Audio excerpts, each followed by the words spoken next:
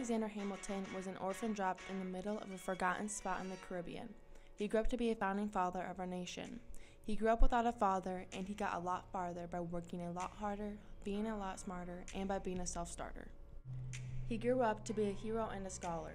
Alexander always struggled to keep his guard up, and inside he was longing for something to be a part of. So he put a pencil to his temple and he connected it to his brain, and he wrote his first refrain, a testament to his pain. People acknowledged his gift and sent him on a ship to New York, where he would build our country and make history. His life ended after his unfortunate standoff with Aaron Burr, but his wife told a story, and Alexander Hamilton is now a two hour and 55 minute Broadway musical, and the legend lives on.